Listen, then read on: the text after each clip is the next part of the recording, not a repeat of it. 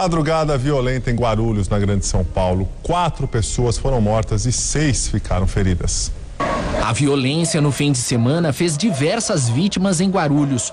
No bairro Jardim Lenise, a polícia militar atendeu uma ocorrência. Cinco homens armados e ainda não identificados atiraram contra um homem que estava sentado na calçada de casa.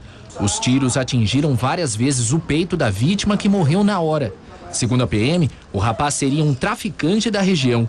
Um dos disparos também teria atingido o braço de um vizinho que estava dentro de casa. Ele não corre risco de morte. Os moradores do bairro, com medo, preferiram não falar sobre o que teria acontecido.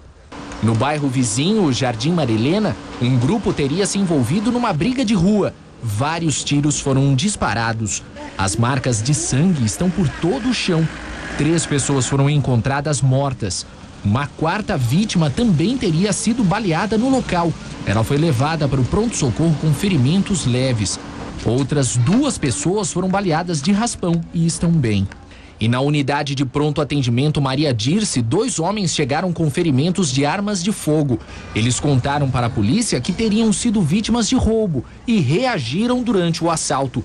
A Polícia Civil ainda verificava os antecedentes deles. Os crimes foram registrados aqui no sétimo Distrito Policial do Jardim São João, em Guarulhos. O delegado responsável pelo caso preferiu não gravar entrevista. Até o momento, nenhum suspeito dos crimes foi detido. Eleições 2012 definido o segundo turno na capital paulista.